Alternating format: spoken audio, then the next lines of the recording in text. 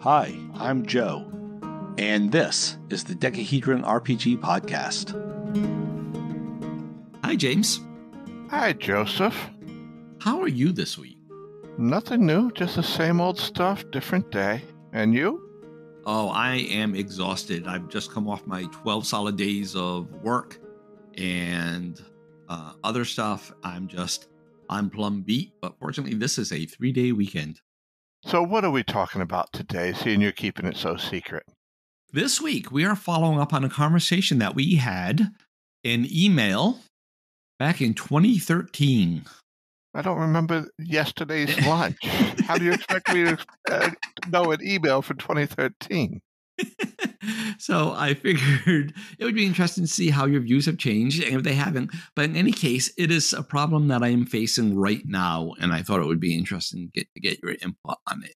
Actually, it's not so much a problem I have now because I've I've kind of decided what I'm going to do, but I thought it would be a good topic. And uh, yeah, so here we are, ten years later. We're going to talk about the flavor of space battles. Ah, okay. I remember part of that. We were talking about either massive spaceship or dogfights like in past World War One and Two. Am I on the right track? You are on the right track. So so let me give the intro. And it's interesting that you say World War II because that is the very first note I have is to say that pretty much all modern space opera is World War II in space. You look at Star Trek, you look at Star Wars, you look at Babylon 5, you look at any of it, it is all pretty much World War II in space. So I thought it would be interesting to frame it in World War II perspectives, quoting, you know, famous, referencing famous World War II esque movies or TV shows or whatever. And so the the first one, let's talk about Baa Black Sheep. One of my favorite. I I'm gonna have to put that on DVD again. Jason had a contest over at the Nerds RPG Variety Cast last month where it was about your favorite military property, and I called. I left him a six minute uh, message uh, with my entry, but I purposely left out Baa Black Sheep because I figured you would call in and say that one because I know how much you like it. Uh, so uh, Baa Black Sheep, maybe we could say the battle midway, 12 o'clock high. Yeah, well, those are bombers, but it works. We see this in science fiction and Star Wars and Battlestar Galactica. Yeah, those are the big ones. These are the ones where all the main characters are fighter pilots. They have their own fighter, you know. Luke has his X Wing, Han goes off in the Millennium Falcon. Yep, and Babylon Five. I mean, sorry, and Battlestar Galactica. It's pretty much about you know Apollo and Starbuck, and you know going off in their uh, Vipers. Yep, and uh, you know pretty much the Galactica is just a big carrier, and the Cylon uh, spaceships are the same thing. Spaceships, yep, that are ba- pretty much just ba- big carriers. So from a gaming perspective, I like this because each player gets their own fighter. And when it comes to space combat, it's easy to adjudicate. There you go. You're you're in your fighter. Go fight. Um, the problem with this is that maybe every player does not want to be a fighter fighter pilot. The other problem with this is when big the big picture stuff, it's pretty much all handed to the player, right? Because they're they're the fighter pilots on the oh I was going to say on the carrier, but then it occurred to me that you know Baa Black Sheep isn't on a carrier; it's on an on, no, on, on, an island. on an island, on a base on an island. And I was like, wow! Imagine instead of an island, it's an asteroid with space fighters. You could pretty much have the same thing, huh? Mm. Actually, there's and, a couple of movies out. Uh, there's a couple of shows that did that. Buck Rogers, the newest series, had something like that. Oh, I forgot all about Buck Rogers when I was uh, doing this. The the old '80s one that was uh yeah that that was pretty much fighters too. Anyway, so uh yeah, but the problem is right the the fighter pilots are not in command of the the carrier. And so, from the big picture thing, you know, we're going to go over to this star system to investigate this. They they're not really going to have that much say in that, right? That's going to happen with the commander. So I view that as a negative to that, as another negative. So give me your thoughts about the uh, fighter based campaign. You like it? You don't like it? Tell me. I like it. There's a a lot of issues with it though. My first thing is if someone gets blown out of the sky, individual fighter, yeah, you're losing that one player. You now have to re-roll that character. I just think the one small gunship, a B 25 as an example, is a better format. But you're right on the idea of they don't get to go where they want to, they get to go where they're told to go. So there is a trope in the fiction that I would emulate. And the trope is that every time you hit a Cylon, every time you hit a TIE fighter, they blow up. Boom. And every time that one of the main characters get hit, they go, I'm hit. And they don't blow up. Right. And I would carry that over. I would give their ship a disabled state where all they can do is maybe fly back to the carrier or something. So one hit isn't going to kill them. The other movie I'm going to mention then is going to be PT 109. This is where you have your warship with its own crew. Uh, this is Star Trek. This is Firefly. And Firefly would be closer to PT 109 because it's a smaller ship. But usually in role playing games, in like Traveller, that's going to be very PT 109. It's going to be, you know, a smaller vessel. This is ships fighting out, and all the players are on the same ship, and the players are the crew of that ship. The benefit of this is A, all the players are together. Uh, B, like the inverse of what we said for the other one is that not everybody has to be a pilot. You can have a pilot, you can have the engineer, you can have the gunner, you can have the medic, you can have the scientist, right? If you're playing Star Trek, the role playing game, you can have the botanist, right? Oh, yeah, I want to play a botanist. Um, the problem I have is what do you do during a space combat with all those players that aren't involved? What do you do with the botanist in space combat? Is it okay to say, hey, for the next, you know, 15 minutes of game time, you might as well go grab a snack or, you know, catch up on your phone because you're not involved. You're just a botanist. All right, your thoughts, sir. My idea is that the players need to have cross training where they are essential in those type of roles and maybe your botanist idea is like a secondary or third role for that character so you need to have a well-rounded character that can hop in where needed. No, you're not going to want three pilots uh, in that crew, but maybe two. Let me give you some of my real world experience here, right? We know that I used to be in the Air Force. And, um, you know, like during my active duty years, I was a biomedical equipment technician, BMET, as we call them. And during exercises, very seldom did they say, you know, the anesthesia machine broke down. So we had our secondary position, which was facility security um, for the, the medical facility there. So you do the same thing in the game, and you probably say that, okay, your botanist is part of damage control, right? That's what you would do. But now you have to have rules that support damage control. You have to have rules that support all these various features, right? So, what does the pilot do during combat? Okay, well, I guess that would be a defensive type role, right? What does a gunner do? Well, that one's pretty obvious. They they have a they they do a gunner. If you do the Traveller slash Millennium Falcon thing, then every gun has its own gunner, and so okay, that's kind of cool. The downside, of course, is that you need a gunner NPC for every gunner if you don't have enough on your crew, but whatever.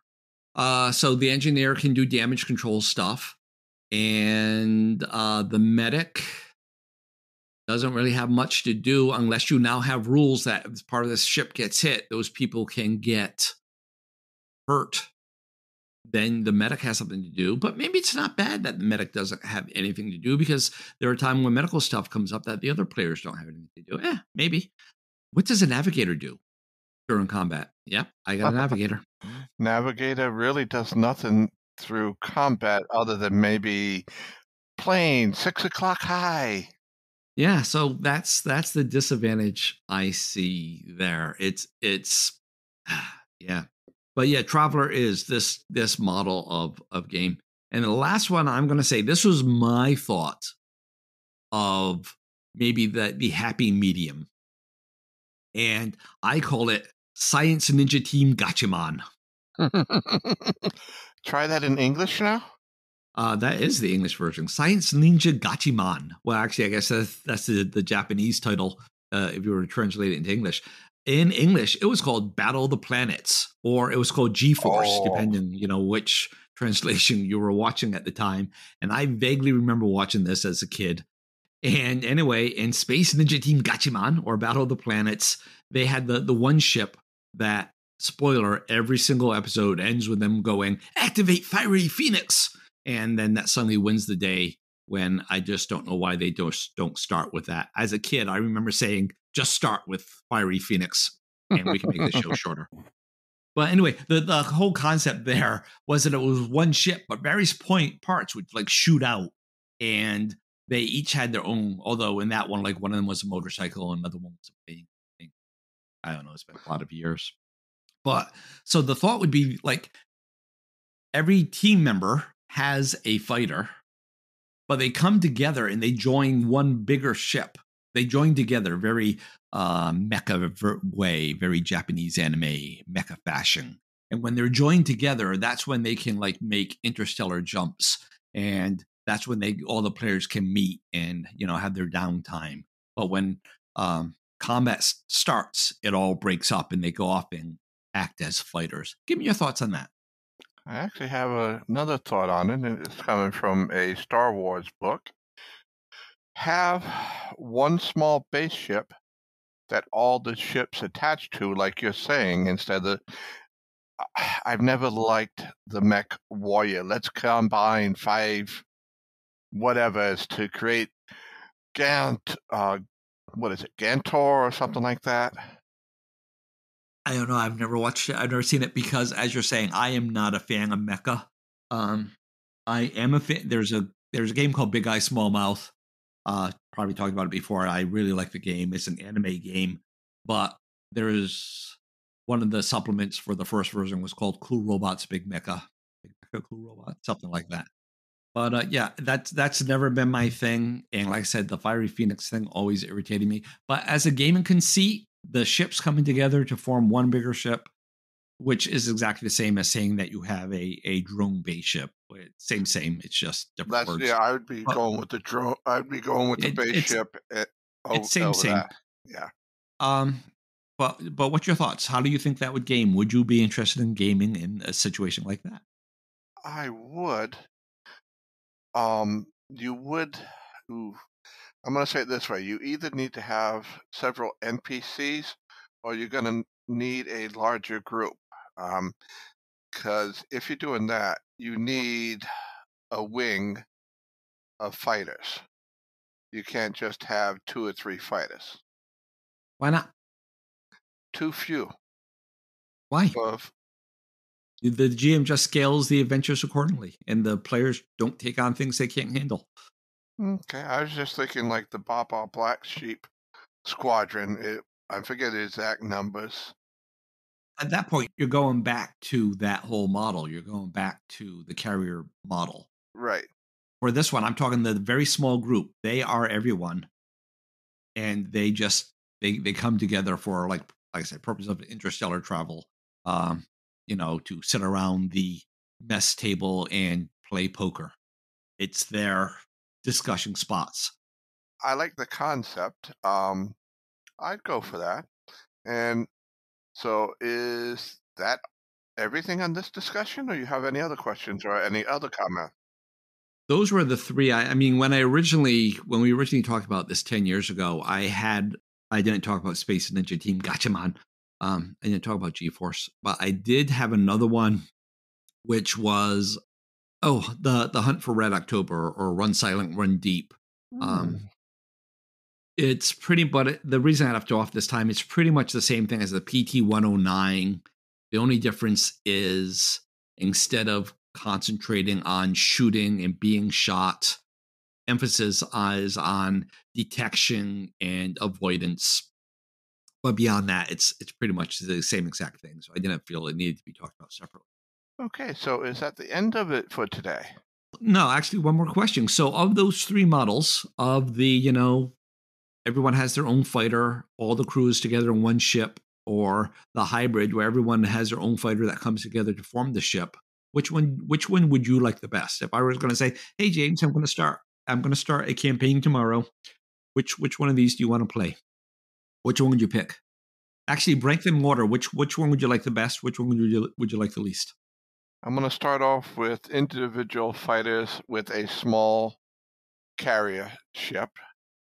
Then As you that's the one you like the bit best or the least? the most. Okay. Then I'd go with the one ship like a Defiant or PT. All right.